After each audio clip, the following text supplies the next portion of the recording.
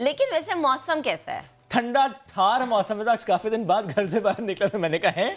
काफ़ी ठंडी ठंडी सी हवाएँ चल रही उतनी ठंडी नहीं जितनी मैं एक्सपेक्ट कर रहा था बिकॉज़ हमने नवंबर में बहुत ज़्यादा बात की थी कि दिसंबर बहुत चिल्ड होगा। क्या ये उतना चिल्ड है जितना हम एक्सपेक्ट कर रहे थे? अभी भी छः दिन बाकी तो छः दिन में क्या होने जा रहा है? क्योंकि सुना यही था साइबेरियन हवाएँ जब आएँगी कराची वालों को ठिठराएँगी। इस वक्त शहर में क्या सिचुएशन है? क्या ठंडी हवाएँ चल रही हैं? या कि सिर्फ़ सुबह सुबह के ही मुझे मौसम याद करना है कि इस वक्त मैंने आज पहली बार अब इस इस साल आई मीन हाँ। पहली बार मैंने एसी से हीटर पे किया उसको क्योंकि मैंने थोड़ा सा मैंने कहा जरा गाड़ी अच्छा, का माहौल कर इतनी भी ठंड नहीं है। एसी से आपने हीटर पे कर लिया। मेरी बात सुने जो ठंड लाहौर में पड़ी है इस्लामाबाद में रावल में आपको वहाँ जाके क्या कराची वाले इसके हिसाब से तैयार होते हैं। कराची वालों के लिए बड़ी ठंड होती है। हम बॉम्बर जैकेट इसी मौसम में पहनते हैं। हमें लेदर जैकेट्स इसी मौसम में निकालनी होती है जो मैंने जा जा के लिया था मैंने यूज़ करना है उसको तो मैं नहीं मैं नहीं खेल रहा। करा, कराची वाले जो हैं वो सर्दियों का मजीद मज़ा यानी मजीद ठंड कब एंजॉय कर सकेंगे? हमारे साथ मौजूद है जवाद मेमन साहब। जवाद आपकी तो सर्दी से बात हो जाती है। आप मुझे आगे कहते जी मेरी सर्दी से कल परसों आज बात हो गई और सर्दी ने ये कह दिया अब सर्दी क्या कह रही है? देखें महक आज सुबह ही बात हुई बात हुई और उसने ये कहा कि संडे से दोबारा आ रही है। अच्छा। ठीक ठाक सर्दी एक बार फिर जो है वो कराची सिंगल डिजिट में चला जाएगा। अगेन एक वीक वेस्टर्न डिस्टर्बेंस पाकिस्तान में दाखिल हो रहा है एक आध दिन में। Week hmm. है तो मैक्सिमम एक से दो दिन और रहेगा उसके बाद जैसे ही ये सिस्टम निकलेगा तो फिर तेज़ साइबेरियन हवाएँ जो हैं दोबारा बलूचिस्तान और सिंध में जो है अब सीवियर कोल्ड वेव आएगी।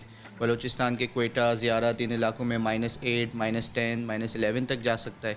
और सिंध के भी जो अपर एरियाज़ हैं उसमें भी दो से तीन डिग्री एक डिग्री या कुछ एरियाज़ में आइसोलेटेड एरियाज़ में ज़ीरो या माइनस वन तक भी जा सिंध सकता में। है अपर सिंध के बिल्कुल जो टॉप के जो बलूचिस्तान के आसपास जो एरियाज़ लगते हैं यानी कि वेस्टर्न सिंध। गोरख हिल्स भी? Gorakh hills office Gorakh hills में यानी जो कि जिसे सिंध का मरी कहा जाता है कि वहाँ पर भी ज़ीरो या माइनस वन तक जा सकता है। बिल्कुल। तो जो मरी नहीं जा सकता वो गोरख हिल जाए वहाँ पर एंजॉय करे। और आपने ज़रूर किसी को कहा होगा अगर स्नोफॉल देखने चले तो कोयटा बर्फबारी होने वाली है दैट बिल्कुल ऐसा ही है कि अभी अगेन जो सिस्टम आ रहा है वीक है तो उसमें कुछ हद तक चांसेस हैं कि जियारत और कोयटा में जो है वो लाइट स्नोफॉल और हल्की फुल्की बारिश हो सकती है। वीकेंड्स आ रहे हैं छुट्टियाँ हैं तो अगर अगर आपको चांस मिलता है। वीकेंड तो हमारा ही है ना यार वीकेंड पे तो जा सकते हैं आप कीजिएगा ना।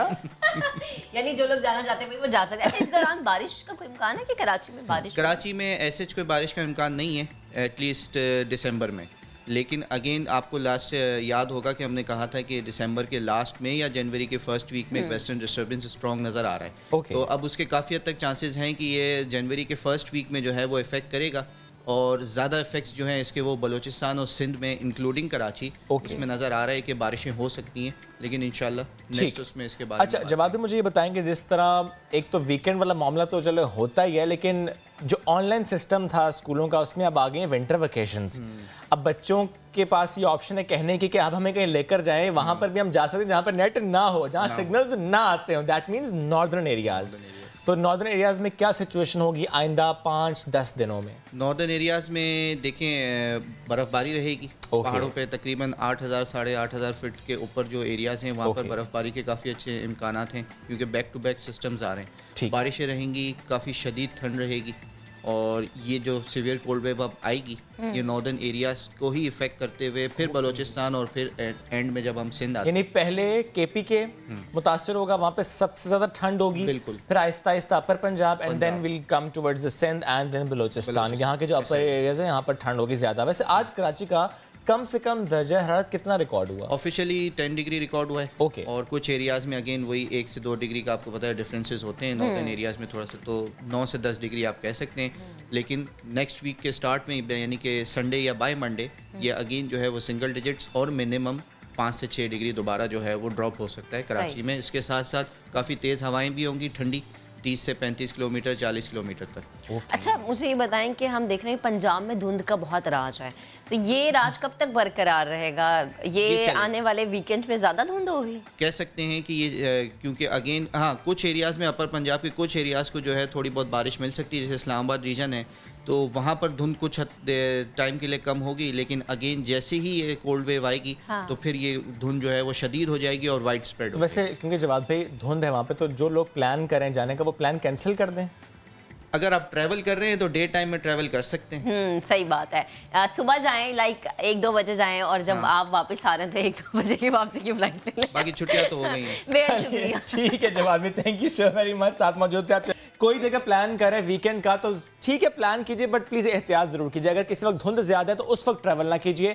उन आवर्स में ट्रैवल कीजिए जब ट्रैवल करना आपके लिए आसान हो क्योंकि मौसम तब्दील हो रहा है। सर्दी आ चुकी है कुछ इलाकों में बहुत ज़्यादा आ चुकी है कुछ इलाकों में जिस तरह महक ने कहा कराची में कुछ कम आई है लेकिन कराची वालों के लिए भी बहुत है। तसल्ली रखें बहुत सर्दी जी इससे ज़्यादा अच्छा, सर्दी बर्दाश्त होती नहीं है। आपको लगता है गर्म कपड़े निकाल लिए हीटर शीटर चला लिए? गर्म कपड़े निकाल लिए गर्म खाबे चल रहे हैं सूप चल रहे हैं गाजर के हलवे चल रहे हैं।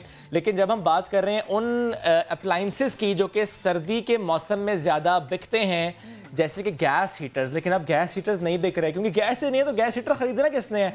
अब क्या बिक रहा है? अब इलेक्ट्रिक हीटर्स बिक रहे हैं इलेक्ट्रिक गीजर्स बिक रहे हैं क्योंकि ज़ाहिर है गैस तो है नहीं और अभी सर्दी का मौसम जहाँ जहाँ पर सख्त है वहाँ वहाँ पर वो दु, वो दुकानदार जो कि इन अशिया का कारोबार करते हैं नहीं गैस हीटर्स नहीं इलेक्ट्रिक हीटर्स ज़ाहिर है उनके काम चल रहा है। और कीमतें फिर बढ़ा देते हैं जिस चीज़ का सीज़न आता है कीमतें बढ़ जाती हैं। यकीनी तौर पर सर्दी की अशिया भी महँगी हमें नज़र आ रही है। इस साल, पिछले साल से कितना फ़र्क पड़ा है? चीज़ें कितनी महँगी हुई हैं? मुख्तलिफ़ शहरों से हमारे नुमाइंदगान जो हैं, वो बाज़ारों में गए और उन्होंने जनाब दुकानदारों से बात करने की कोशिश की, जिन इलाकों में जैसे कि पिंडी है, वहाँ पर ज़्यादा ठंड होती है। वहाँ पर लोग ठंड से निमटने के लिए इलेक्ट्रिक हीटर अगर इस्तेमाल करें तो उन्हें कितनी कीमत में मिल रहा है? ये उमर आसिफ हमें अपनी रिपोर्ट में दिखाएँगे। ठंड की शिद्दत में हिद्दत के सामान की मांग बढ़ी मगर गैस की किल्लत ने गैस हीटर्स की तो छुट्टी ही करा दी और दुकानों के दुलारे बन गए इलेक्ट्रिक हीटर्स छोटे बड़े साइज़ नित नए डिज़ाइन दुकानदार कहते हैं वैरायटी दुकान पर है और रेट आसमान पर। जो इलेक्ट्रॉनिक पहले पिछले साल में 1800 2200 का था वो अभी तीन हज़ार साढ़े तीन हज़ार की कीमतों में इजाफा हो गया और गैस तो है नहीं। हम यहाँ पे आए थे ब्लोर ढूँढने के लिए तो ब्लोर नहीं मिले। मार्केट में आजकल ये डिश हीटर आए हैं, ठीक है। दो तीन और किस्म के डिश हीटर आए हैं, वो मिल रहे हैं। हमें ये फ़र्क है कि वो हमें मिलता था पाँच हज़ार का। खरीदार ही नहीं, खुद दुकानदार भी महँगाई का रोना रोते हैं। कहते हैं, माल जितना महँगा होता जा रहा है, काम उतना ही ठप। इस साल, पिछले साल के मुकाबले में तकरीबन 30 से 40 परसेंट अप हुआ है और इस साल गैस बिल्कुल कम है। बिजली के हीटर ज़्यादा बिक रहे हैं। जो हीटर पिछले साल 1800 का था इस साल 25 से 2600 का आ रहा है। कीमतों में सर कह लें कि 50 से 60 परसेंट रेट बढ़ गए और ओवरऑल काम नहीं है। कि जिस तरह काम होता है। महँगाई के तड़के ने घर और मकीनों को गर्म रखने वाले हीटर इतने दूर कर दिए कि लोगों के लिए ठंड के वार सहना और भी दुश्वार हो गया। कैमरामैन जियाफत अब्बासी के साथ उमर आसिफ समा रावलपिंडी। तो जनाब जब सर्दियाँ आती हैं तो ऐसी चीज़ों की कीमतें बढ़ जाती हैं। लेकिन एक और चीज़ है यानी गर्म मलबूसात उनकी भी कीमतें आसमान से बातें करती हैं। अगर हम लुंडा बाज़ारों की बात कर लें जहाँ पर हमें कभी कभी ब्रांडेड अच्छी चीज़ें मिल जाती हैं कभी कभी अच्छे ब्रांड की एक अच्छी कॉपी मिल जाती है। Brands की। इंटरनेशनल ब्रांड्स की। लेकिन उनकी कीमतें वहाँ पर यानी लुंडा बाज़ारों में आसमान से बातें करती हैं। पहले हम तस्वुर नहीं करते थे कि अच्छा लुंडा बाज़ारों में भी ये हाल होगा कि कीमतें बढ़ जाएँगी लेकिन अब वहाँ पर भी ऐसा है। क्योंकि महक ये भी कहते हैं कि वो जो सामान मंगवाते हैं उस पर टैक्स बहुत ज़्यादा लग गया है। दैट इज़ द फिर रीजन उनका भी रीजन सामने आता है। दुकानदार भी शिकवा करते हैं कि जनाब अगर माल बाहर से महँगा आ रहा है तो हम क्या करें? हमने तो फिर महँगे दामों में यही बेचना है। इसलिए वो कहते हैं कि यह कीमतों पर अच्छा खासा असर पड़ा है। सैयद शहाबुलरहमान शहाबुल रहमान ने रिपोर्ट तैयार की है। आपको दिखाते हैं।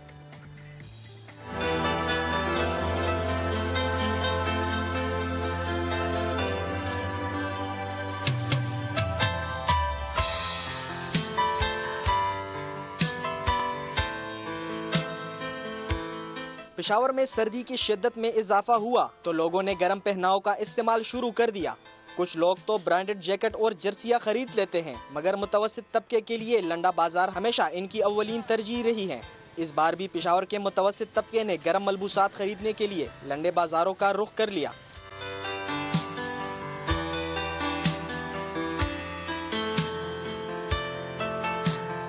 मगर ये क्या? जहाँ स्वेटर गर्म कोट और दीगर मलबूसात कुड़ियों मिलते थे वहाँ भी महँगाई ने डेरे डाल दिए।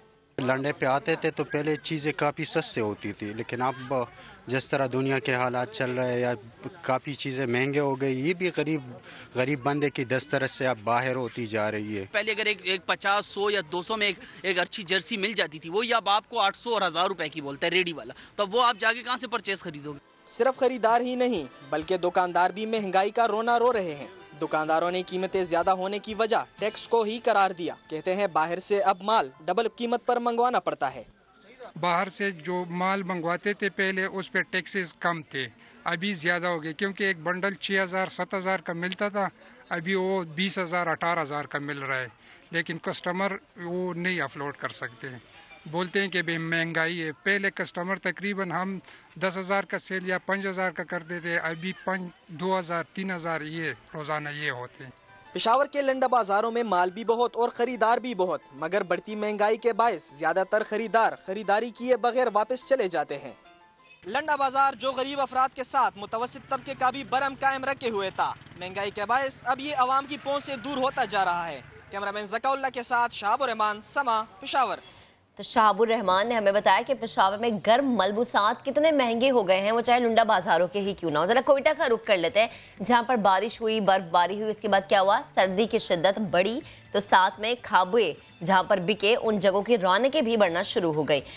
शहरी जो हैं वो सज्जी खड्डी कबाब मसालेदार फ़िश फ्राई और दीगर चटपटे खानों से लुत्फ अंदोज हो रहे हैं। सुबह सुबह इतनी खाने पीने की खबरें होती है कि भूख लगना शुरू हो जाती है। आपने आलू का पराठा क्यों खाया? मैंने इसलिए पहले बता जी जी जी आलू के पराठे खाए हुए हैं फिर भी कह रही है सब्ज़ी भी खानी है तो खड्डी कबाब भी खाने और कितने जाना चलिए जी जी हम आपको लेकर जा रहे हैं कोयटा क्योंकि कोयटा के ये खड्डी कबाब और सज्जी बहुत ज़्यादा मशहूर है। नरूल आरफीन की रिपोर्ट में आपको दिखाते हैं।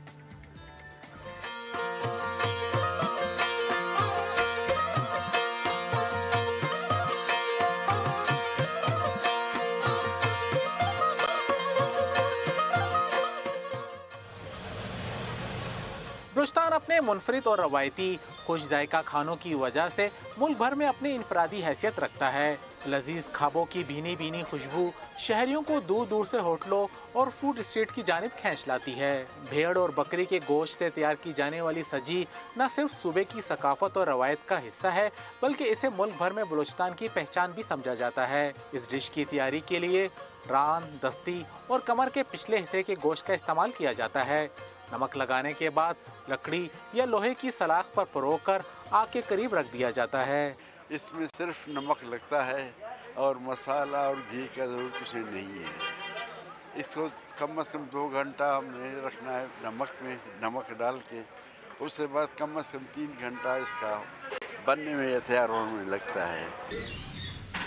न सिर्फ़ मकामी अफराद में मशहूर है बल्कि सूबे के दूसरे शहरों से भी लोग आकर इसके मज़े लेते हैं। खसूसन सर्दियों में अगर हमारे लोग निकलते हैं इसका खाने के लिए तो बहुत मज़ा आता है सर्दी में। पैंतीस मसालों से बनने वाली खड्डी कबाब की तैयारी का तरीका भी खासा दिलचस्प है। ज़मीन में गड़ा खोद कर लकड़े में पुरोए सालिम बकरे को इसमें लटका दिया जाता है। गड़े को लोहे की चादर से ढाम कर ऊपर देखते हुए कोयले बिखेर दिए जाते हैं। खड्डी कबाब जो है कोयटे का सौगात है। बड़ा बिल्कुल हर चीज़ में ये मशहूर चीज़ है। लोग जो है मेहमान होता है ना ज़्यादा इसको पसंद करता है। बाहर के लोग कहता है बोलता है कड़ी कबाब बनाओ हमारे लिए। सर्दी आते ही फ़िश फ्राई की दुकानों पर भी रश पड़ जाता है। शहरी कहते हैं ठंडे ठंडे मौसम में गर्मा गर्म मसालेदार फ़िश फ्राई खाने का अपना ही मज़ा है। कोयटे की इस मौसम को मौसम के लिहाज को देखें तो इस सिलसिले में जो ना गर्म खुराक यानी कि मछली वगैरह इस तरह की खुराक जो ना ज़्यादा यहाँ के लोग पसंद करते हैं। मौसम में खुश खुराक अफराद, दोस्तों के साथ गपशप के अलावा चटपटे खानों से भी लुत्फानंदोज होते हैं। कैमरा टीम के साथ नूर आरफीन समा कोयटा। ज़बरदस्त जी कोयटा जाना चाहिए। एक तो मौसम बहुत अच्छा है वहाँ बर्फबारी का भी माहौल सुना है कि बड़ा ज़बरदस्त लगता है। बर्फबारी होने भी वाली और ऐसे में महकमे वाले जाके खड्डी कबाब खिलाएँगे तो इससे अच्छी और क्या बात हो सकती है? बिल्कुल आप बिल्कुल सही कह रहे हैं। आप छुट्टियाँ अब तो आपको तो नहीं मिलने वाली। Weekend still there Mahak. Weekend में बंदे के अपने और भी बहुत सारे प्लान होते हैं भाई।